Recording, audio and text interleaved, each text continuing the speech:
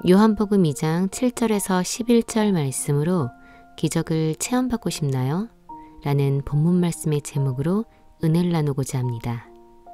자연 법칙을 떠난 불가사의한 일들을 보고 기적이라고 하며 체험은 우리 몸으로 직접 느끼는 모든 것을 말합니다. 기도를 할 때 갑자기 입술이 돌아가 방언을 하더라. 손이 갑자기 찌릿찌릿할 때 기도를 해줬더니 병이 나았더라. 내가 하는 것이 아니기 때문에 자연 법칙을 떠난 불가사의한 일, 기적이라고 말하는 것입니다. 열왕기상 18장에 불의 역사가 일어났던 엘리야 선지자의 기적을 보십시오.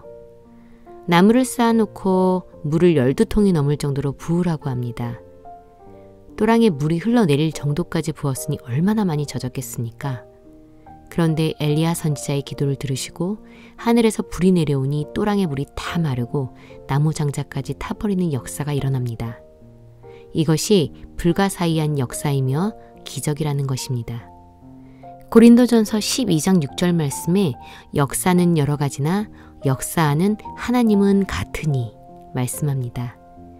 오늘 예수님께서 제자들을 택하시고 첫 표적으로 물이 포도주가 되는 기적을 보여주셨습니다. 물이 포도주로 변한 것은 자연 법칙으로는 도저히 생각할 수도 상상할 수도 없는 일이라는 것입니다. 기적을 체험받고 싶나요? 그러려면 어떻게 해야 할까요? 첫째, 내 믿음의 항아리를 채우셔야 합니다.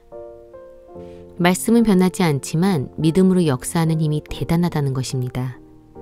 예수님과 제자들이 혼인잔치에 청함을 받았는데 포도주가 모자라서 마리아가 예수님께 포도주가 없다고 하니 사절에 예수께서 가라사대 여자여 나와 무슨 상관이 있나이까 내 때가 아직 이르지 못하였나이다. 모친 마리아가 시험이라고 생각을 하고 5절에 어머니가 하인들에게 이르되 너희에게 무슨 말씀을 하시든지 그대로 하라고 합니다. 7절에 예수께서 저희에게 이르시되 항아리에 물을 채우라 하신즉 아구까지 채우니 내 믿음의 항아리를 채우라는 것입니다. 왜 물을 채우라고 했겠습니까? 물은 성령 충만한 기도도 말씀도 믿음도 될 수 있습니다. 물을 한 항아리가 아니라 여섯 항아리를 가득 채우라고 합니다. 월요일부터 토요일까지 6일 동안 시험이 와도 내 믿음의 항아리를 가득 채운 사람만이 기적을 체험받을 수 있다는 것입니다. 믿음의 항아리를 채우십시오.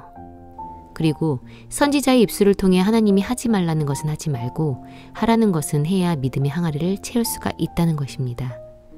기도하라고 방언을 주셨으니 기도해야 시험에서 빠져나올 수 있고 시험에서 빠져나와야 믿음이 성장이 되어 믿음의 항아리를 채울 수 있지 않겠습니까? 잠언서 6장 9절에서 11절 말씀에 게으른 자여 내가 어느 때까지 눕겠느냐 좀 더 자자 좀 더 졸자 손을 모으고 좀 더 눕자 하지 말라고 말씀합니다. 잠잘 것 다 자면서 어떻게 믿음의 항아리를 채울 수 있겠습니까? 믿음 잃지 말고 믿음의 항아리를 채우십시오. 믿음의 항아리를 채우셔서 기적을 체험받고 축복받으시기를 주님의 이름으로 부탁드리겠습니다.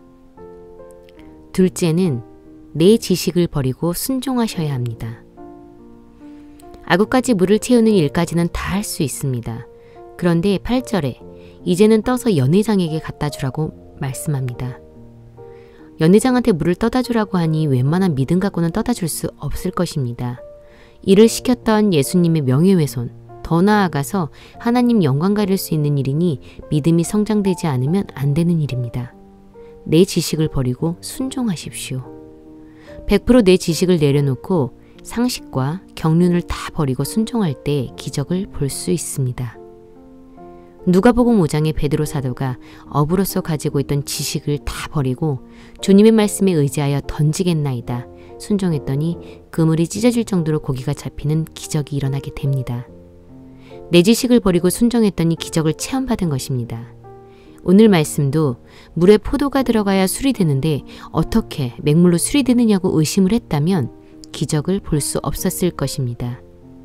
내가 아직도 은사, 능력을 받지 못했고 축복을 받지 못하고 가정의 불행이 계속된다면 내 지식을 버리고 얼마나 순종했는지 생각해 보십시오. 기적을 체험받고 싶나요? 첫째로 내 믿음의 항아리를 채우세요. 둘째로 내 지식을 버리고 순종하세요. 내 믿음의 항아리를 채우고 내 지식을 버리고 순종하셔서 사람이 상상할 수 없는 축복을 받아 많은 이방인들을 하나님 앞으로 불러올 수 있는 기적이 일어날 수 있기를 주님의 이름으로 부탁드리겠습니다.